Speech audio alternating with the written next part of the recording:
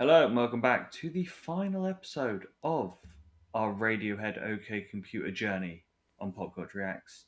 As we are at the last song, The Tourist. Yay! so, before we go into the last song, I haven't asked you so far. Are my reactions to this, as you know, you hold this up as the sacred cow of all albums for yourself? Have they, uh, you know, has it not been the kicking you expected it to be?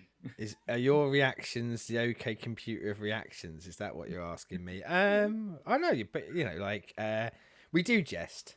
Uh, we do know each other very well at this point, don't we? And sometimes um, we lay into each other for funsies more than uh, realsies. Um, uh, but uh, I don't know. Uh, I'll answer that question with um, I didn't really care in the nicest possible way. Um, I, I just, you know, it was something that we said we'd do. It's something that I, I, I wanted to do because I, I love the album, and yeah, I kind of hope you'd like it. But also, I, I kind of guess you open yourself up to yeah, you might not. And I know that it isn't sort of technically necessarily the sort of stuff I know you resonate with. We talked about Radiohead off, offline quite a lot and things like that, but um but yeah, I don't know. I just I just wanted to do it, so we were going to do it, and um, and I, I I think one of the nice things for me, if I'm honest, is that um, uh, you've had a lot to say about it. Like, and it's not to say necessarily always positive, but I think one thing that I, I've quite liked about um, it is uh, some of the depth. Bearing in mind you're getting this for first listen, y- you are picking up on it because it is resonating in some way, shape, or form with you. Um, and and that's really kind of nice because I think, um, regardless of of that that the liking something or not, um, I think the kind of point of this is hopefully we both find, like when we're doing songs that neither of us know.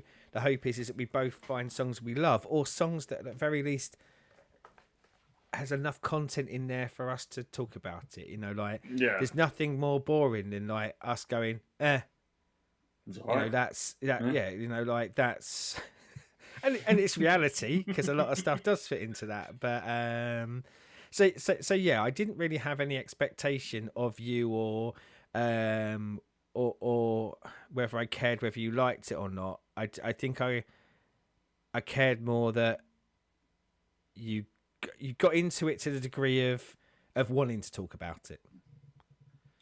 So, shall we finish it up being a tourist? Yeah, something that um I'm not a fan of being. So, uh, but I'm a fan of this song. Spoilers. Right, let's do this.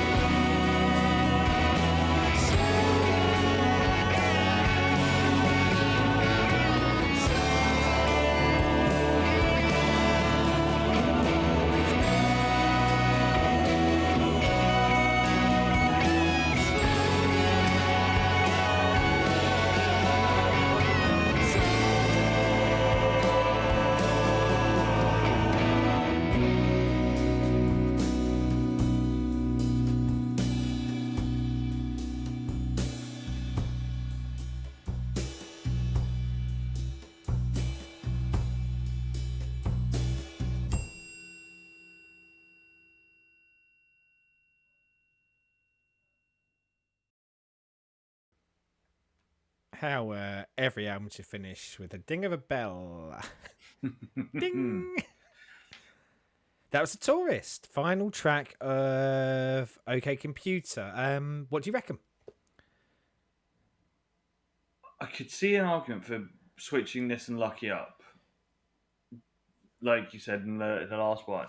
Well, putting and- them on last. A- and I, well, that was quite quite tricky when we were talking about Lucky because um, I, I I could see him flipped, but I, and sorry, I, I will let you go. But but also I didn't want to talk about this one because I think this also equally can be the closing track of the album. Um, but but yeah yeah that. But crack on, and I'll get into me watching a bit of closing track in a minute, and and and the problem I have with both of them, unfortunately.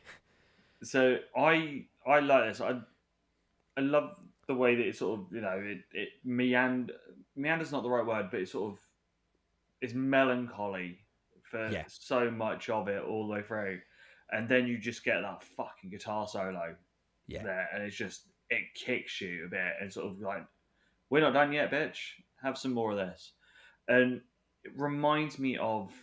I know we've, done one of the songs on the channel, but the Shire Horses album Yeah, where they yeah. have like there's a radio edit of some songs, but then there's the album version that got an extra two or three minutes where they have this sort of guitar solo at the end of them that just adds that extra depth and that extra colouring to to the song and stuff. And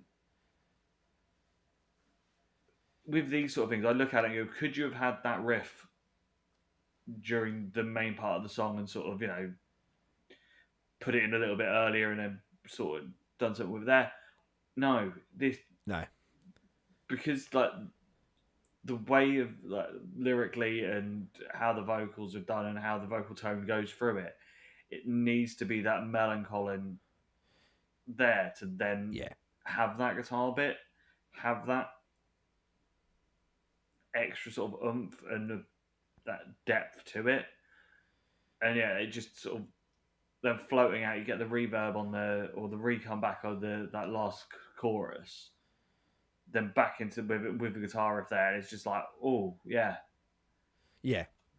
oh, and as you say, the little dink at the end just to Yeah. to close it Beautiful little out. kind of full stop, isn't it? Like a Yeah. fantastic little full stop. Um, yeah, I mean, like you know, I said with with Lucky, I think it, it I think it'd be a great um album closer because I think uh for all the themes motifs that are going through the album, I think it brings this um this edge or kind of the message of you know th- there there are when you're looking within yourself, there are reasons to be positive. You can drive this now.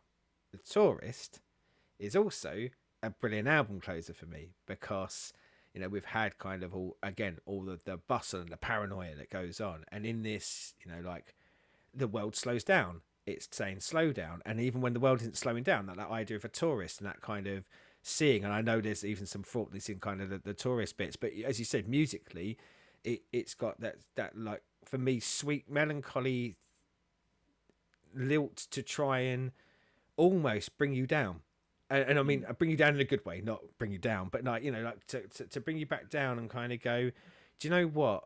As much as this world is is is hectic, manic, all this stuff's being thrown at you, you know, like all of the advertising campaigns, the corporations, the politicians telling you what you need to be, what you should be. You're telling yourself what you need to be. Slow down, you know, like calm you down. There is there is stuff to enjoy in there, and, and like really get there. And I like them both as the album closer. I don't. I think I'd have one of them. It's the honest truth. And I love this album, as you say. As I've told you before, it's it's for me. It's it's my my possibly my favorite, but, but for me one of the greatest albums of all time. Um, yeah. If there's one change I was going to make, I would probably only have one of them in, because I wouldn't also place these songs anywhere else in the album Yeah, and that does that, that does potentially mean I have one less track on an album that I love, and and and you know, I, I probably don't need to. But but yeah, you know, like if I was going to put um a musical genius that I am, but you know that cherry on top, I yeah, this so.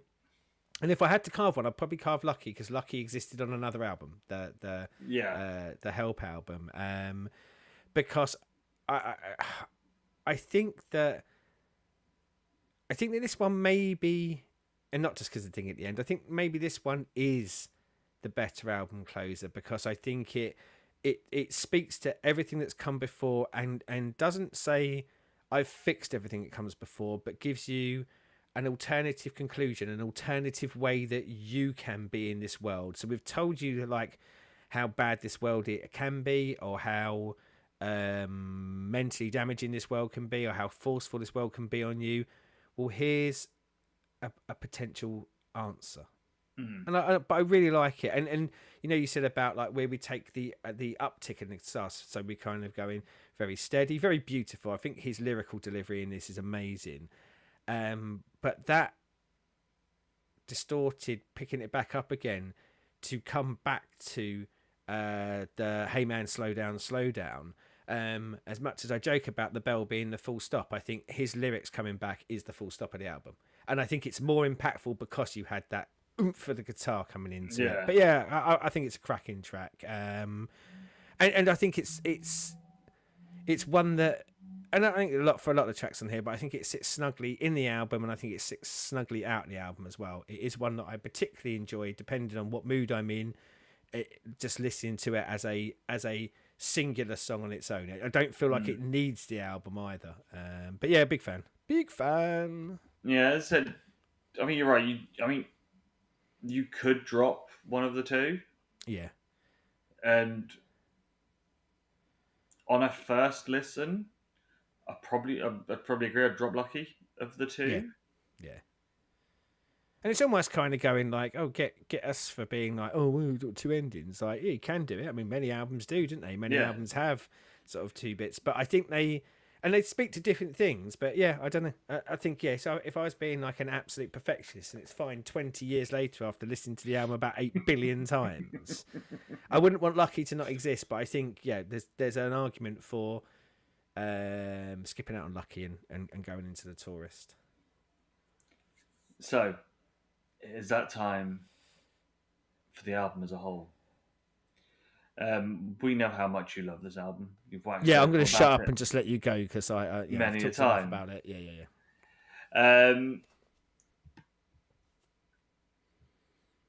interestingly surprised is how I will start it. Yeah. Obviously, I'd heard Paranoid Android before. I'd heard Karma Police. I'd heard No Surprises.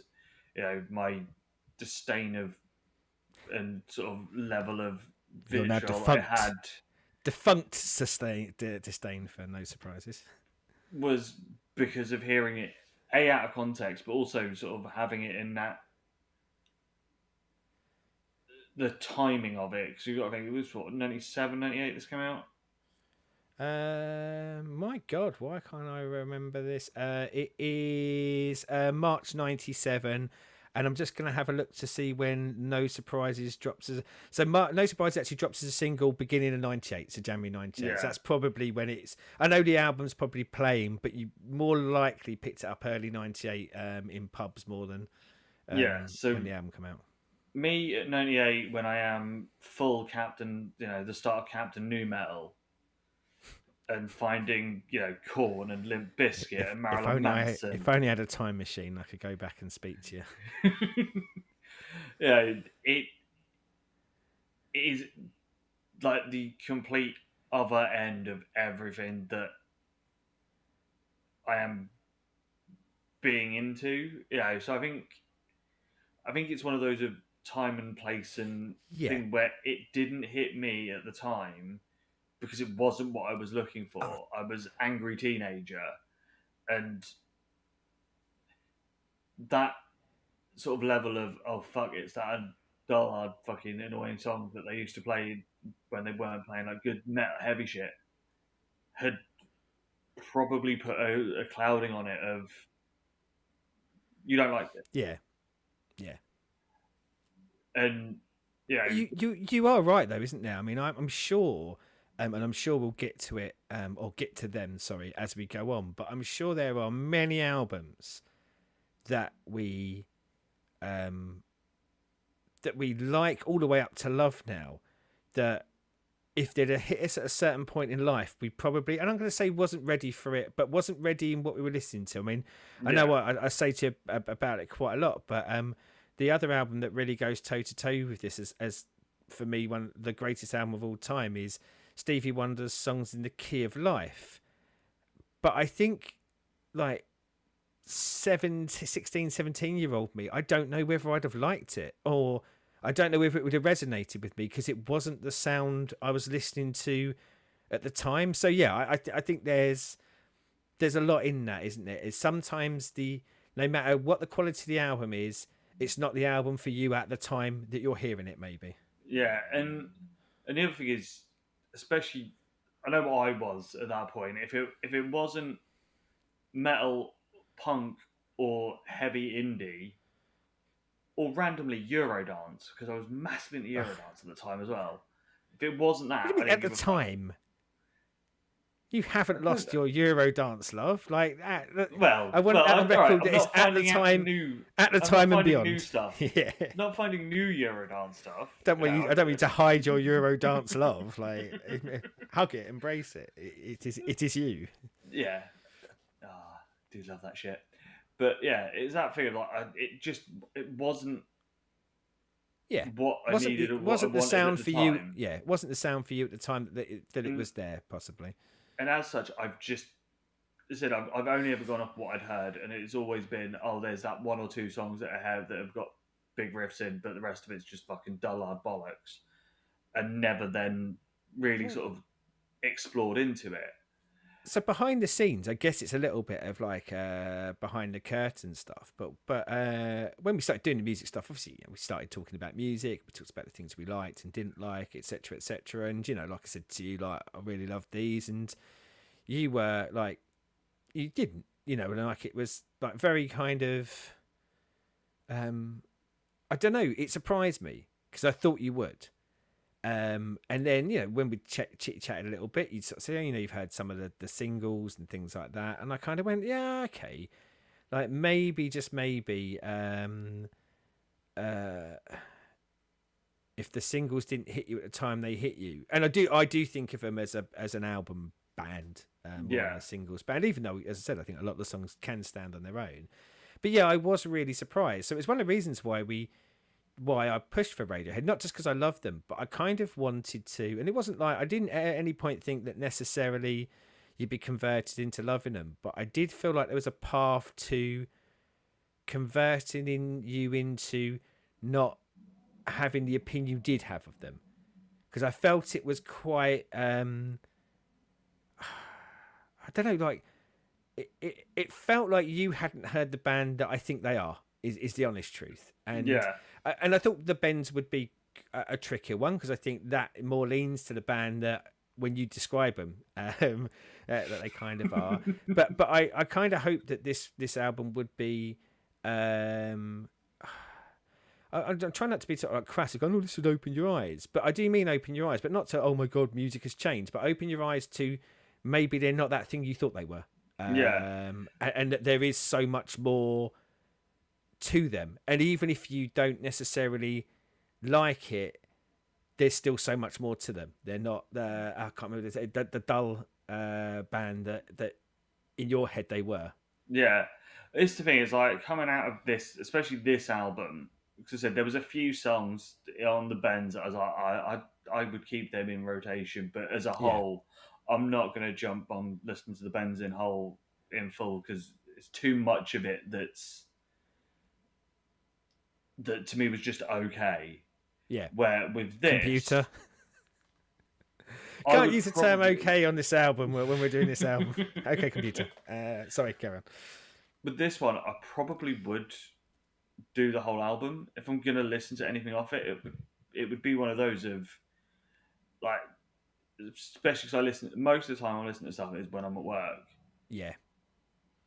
You know, on a Friday afternoon, I I could see myself chucking this on and like the whole album and just playing through it, and even the few songs that aren't where I'm like, oh yay, like amazingness on them.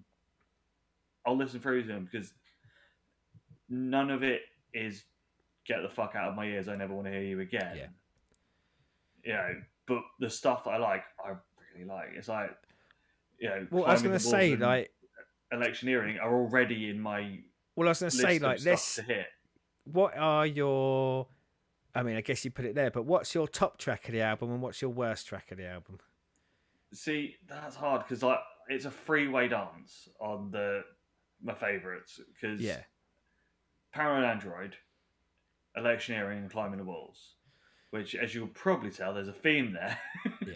I mean, I did. I mean, I said to you, I, I felt that electioneering may well be like a real standout track for you um, because of uh, style and subject matter. Um, yeah.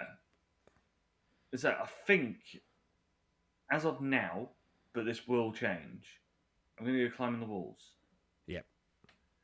But as I said, it is cigarette paper between all three of them. Um, least favourite is a horrible one to say because I get the purpose of it and thing, but it just it's just the one that doesn't hit me. Is exit music for a film? Which um, and I was going to say surprises me, but uh, we talked about it on the no surprises one, and it only surprises me because I I thought knowing your disdain for it beforehand, and I'm really glad that you don't have the disdain for it you did before. Going into the album, I I had assumed that that would stay um your least favorite. So yeah, my surprise for exit music for a film is more still my surprise that it's not no surprises more than it. Yeah. that. It, I think for that one, it's just in a different context. I think that works much better, as said, as if it was used what its purpose was, as in like a bit of film music.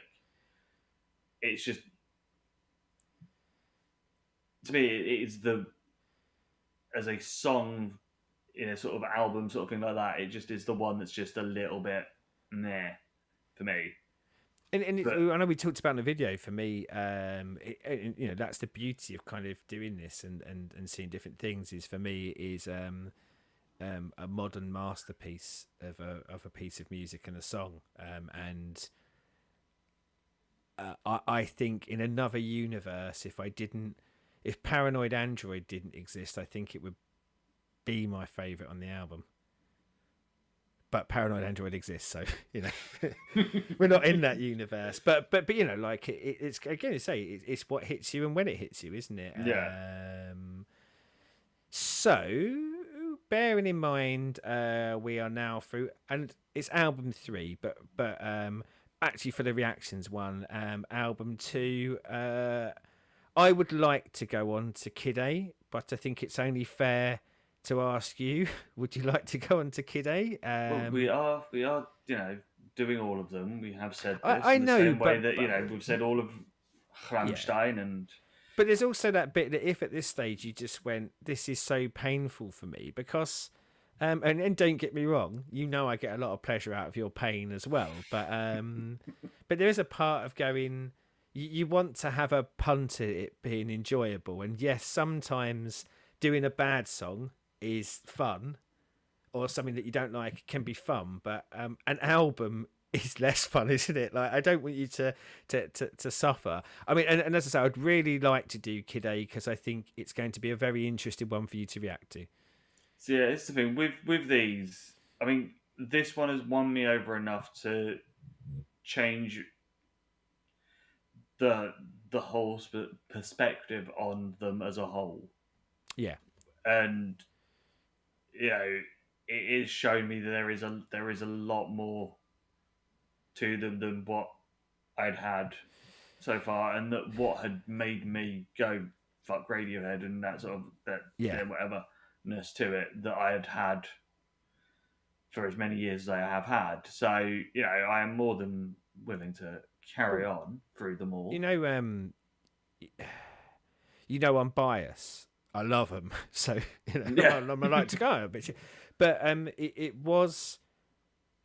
I I really liked Pablo Honey. I was a really big fan of that. Um, I really liked the Bends, but I would say for me the Bends was to a large part doing what a lot of indie bands were. St- I didn't feel like it was distinct at all. Mm. Whereas this is the album for me where um I, I will, you know, I said about like a lot of it kind of personally resonating with where I was um, in life at the time, or maybe where I wanted to be more than anything else. But for me, this is where I just went, wow, there's something different about these. They're still in that same genre, but there is something distinct and different to.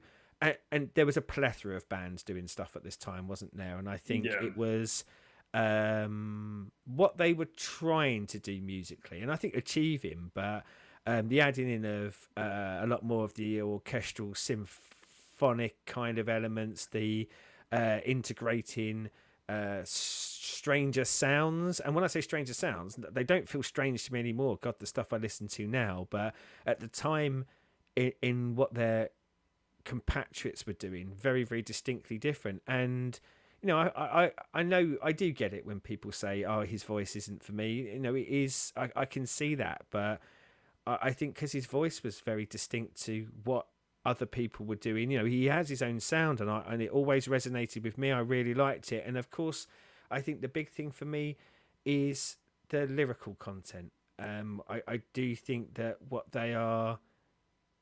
Try, I said earlier trying, but for me, trying and succeeding to talk about this album made them such a cut above um, all of their peers for me, and just made them other bands not their peers. And don't get me wrong, there's still loads of bands from that era that I like. Some that I would go up to, even going that I love, but th- this is where they went onto a pedestal for me um, Mm. because this was distinctly better and distinctly different than uh, what other people were even trying to do. And mm, as I say, no spoilers for Kid A, but we'll see what trying gets you uh, when we get to Kid A. So, you lot out there, let us know down there the album as a whole, and also the tourist on its own. Um, as always, YouTube things of like, subscribe, and ring up the bell. Uh, Radiohead will be back at some point during the year. Yes, yep. as Do some we, other uh, albums, but we'll come back to Radiohead la- latterly. because we still have Rammstein to finish. What's the next uh, Rammstein album that we've got? I forget. The You know self-titled. bad. Oh yeah, cool, cool. yep. Um, so that will be before the next uh, bit of Radiohead. But until then, we'll be back with more stuff from the list, more random picks that we decide of. So if you want to carry on, knowing all the things that we're doing, I thought you said knowing me, knowing you. Aha! Aha! This is me, Lacey, knowing you, Sidden. Aha! do the YouTube things, like, subscribe, and ring off the bell. Until next time, good day.